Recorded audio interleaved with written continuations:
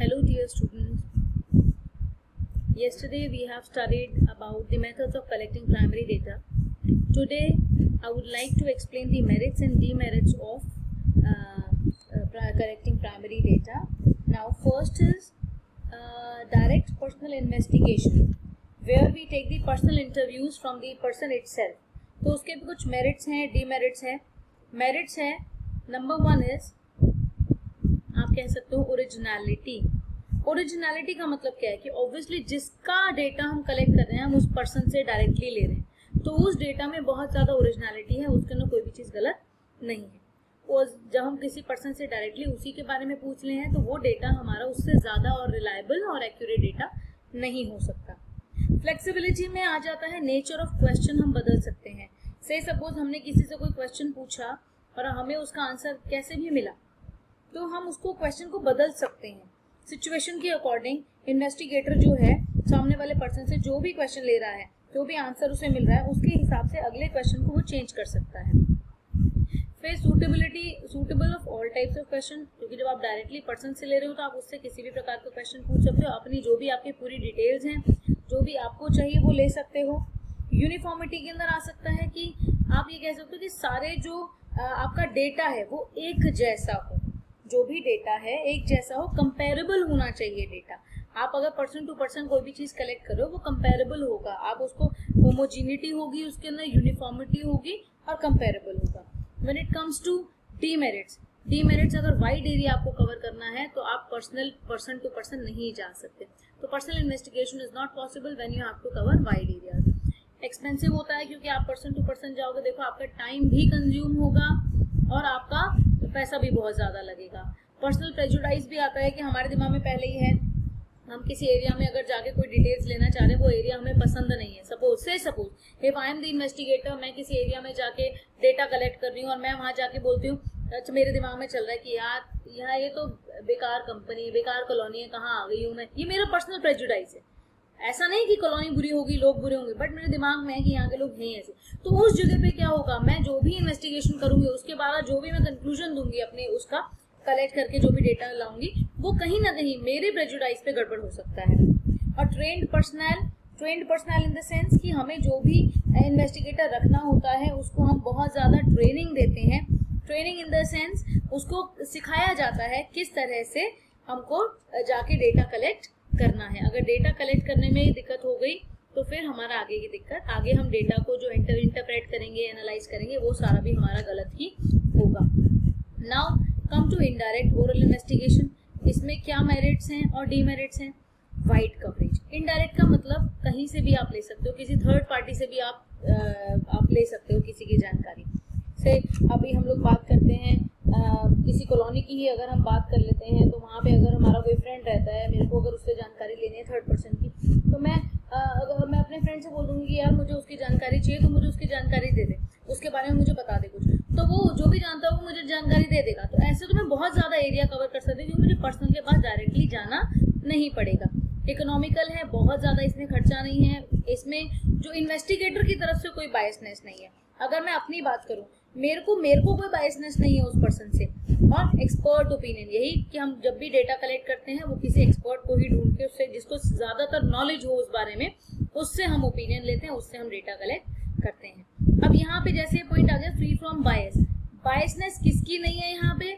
Investigator की नहीं है। लेकिन वहीं इसके डीमेरिट के अंदर आ जाता है पार्शियलिटी ऑफ़ विटनेस जिससे हम डेटा कलेक्ट कर रहे हैं थर्ड पार्टी हो सकता है उस थर्ड पार्टी का उस पर्सन के साथ कुछ दिक्कत हो तो वो हमें गलत इन्फॉर्मेशन दे दे। तो यहाँ पार्शियलिटी हो सकती है।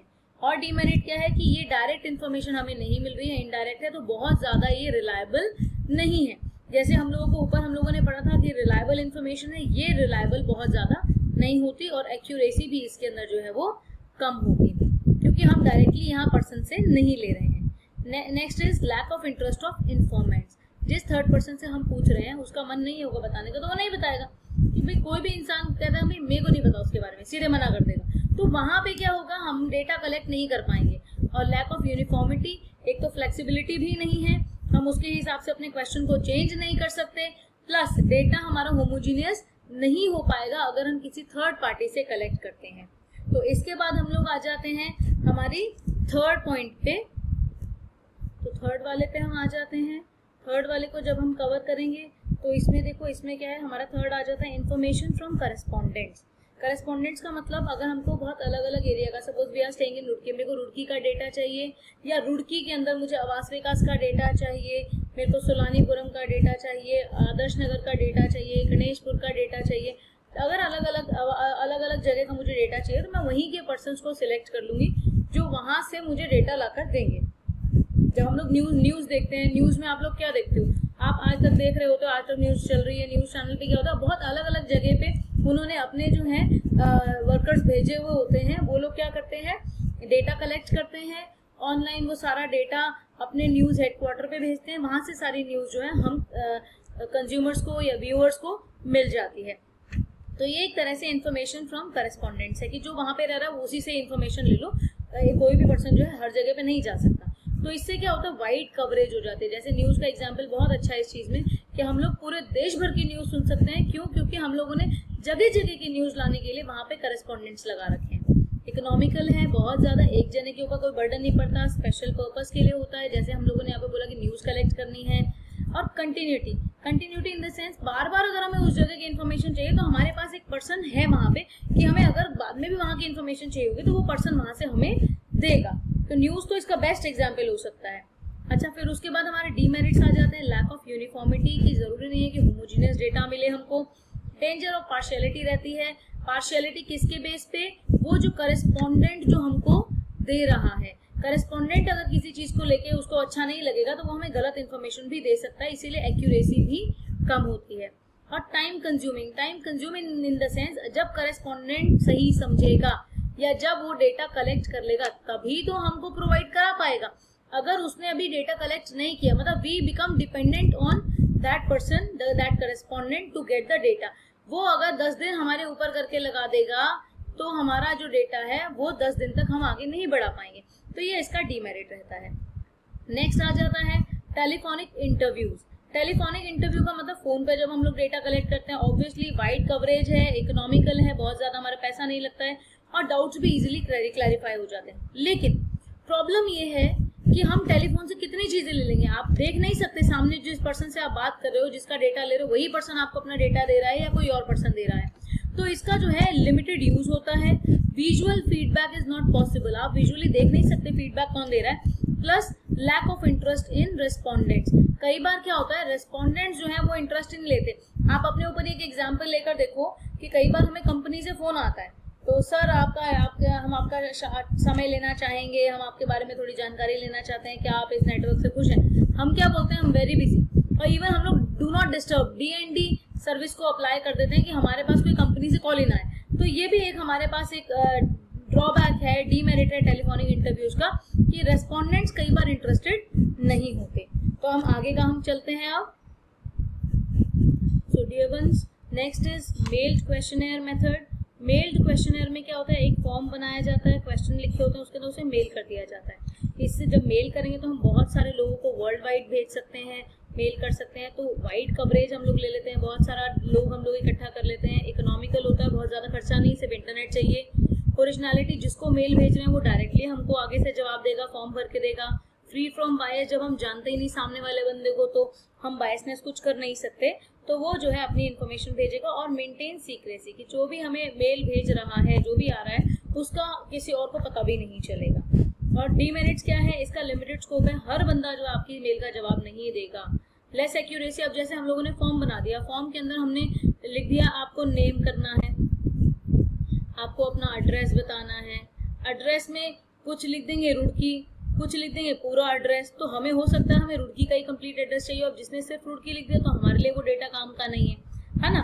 तो कई लोग लैक ऑफ़ इंटरेस्ट भी लेते हैं। ये भी हो सकता है कि बंदा जो है इलिटरेट हो। अगर पर्सन इलिटरेट होगा तो वो मेल पढ़ ही नहीं पाएगा। तो सबसे ज़्यादा ज़रूरी क्या है कि सामने वाले पर्सन के पास एक तो इंटरनेट फैसिलिटी अवेलेबल हो, दूसरा उसको पढ़ना लिखना आता हो। एजुकेटेड होना चाहिए पर्सन लिटरेट होना चाहिए।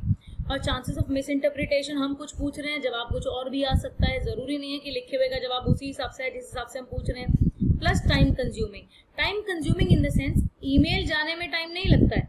वो चला गया, लेकिन कब तक सामने वाला बंदा रिवर्ट बैक करेगा, हमको नहीं मालूम। वो एक दिन में भी कर सकता है, वो दस दिन में भी कर सकता है। तो it depends on the person जिसको हमने मेल किया।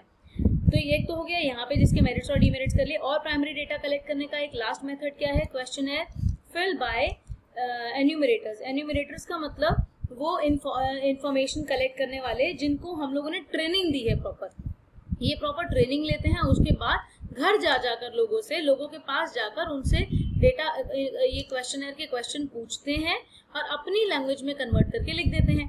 तो इसके मेरिट्स क्या है? वाइड कवरेज ऑब्वियसली ज़्यादातर, ज़्यादा एरिया कवर हो जाता है। रिलायबिलिटी रहती है इन्फॉर्मेशन की एक्यूरेट एंड रिलायबल इन्फॉर्मेशन क्यों? क्योंकि सामने वाला पर्सन जो है, बोल बोल के हमें बता रहा है इवन जो इलिटरेट पर्सन है, वो भी बंदा जो है, हमको अपनी सारी चीज़ें बता सकता है। अगर वो पढ़ नहीं पा रहा है तो एन्यूमरेटर खुद उसको समझाएगा कि आप हमें बताओ। और इसके अंदर क्या हो जाता है बेटर रेस्पॉन्सेज हमको मिलते हैं। अच्छे रिस्पॉन्स मिलते हैं। पार्शियलिटी के चांसेस लिमिटेड होते हैं। ऐसा नहीं कि पार्शियलिटी नहीं हो सकती। पार्शियलिटी हो भी सकती है कि एन्यूमरेटर अगर बहुत ज़्यादा है वो हो सकता है पार्शियलिटी कर भी दे, लेकिन लिमिटेड चांसेस होते हैं। तो इसीलिए इसके डीमेरिट्स में भी लिखा हुआ है कि पार्शियलिटी हो सकती है।